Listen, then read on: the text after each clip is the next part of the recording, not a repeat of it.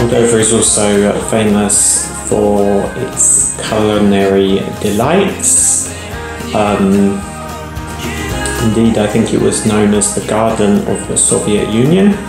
This is because of a very fertile soil, which makes for a lot of very tasty agricultural products, not like what you're used to in the Western world where things seem kind of artificial, but here the fruits and vegetables are extremely tasty, and there's a number of different dishes that they make. A few things that I could mention are sarmale, which are cabbage rolls, um, a lot nicer than they sound.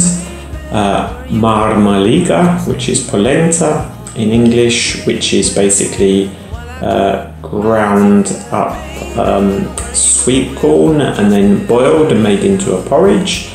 Uh, on its own, uh, not so tasty, but there are some uh, quite delicious combinations, such as with um, fish and much, muchigai, much, much,